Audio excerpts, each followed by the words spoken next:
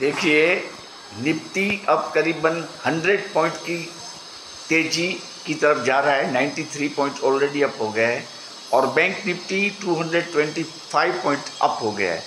जैसा कि कल मैंने मेरे वीडियो में आपको बताया था कि हिंडनबर्ग की बातें कुछ नहीं है, मार्केट बढ़ेगा, और हमारे इंडिपेंडेंस डे के दिन, यानी 15 अगस्त से पहले, वो हमारे नेशन को बैंक निफ्टी और निफ्टी और सेंसेक्स ये तीनों सैल्यूट करेंगे।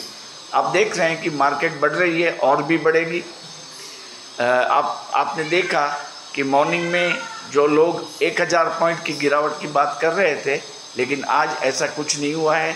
आप टाटा पावर का ऑप्शन ले सकते हैं।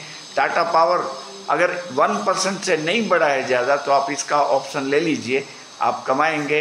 और आज शाम आज का सेशन ख़त्म होने तक आप देखेंगे कि मार्केट बढ़ेगी।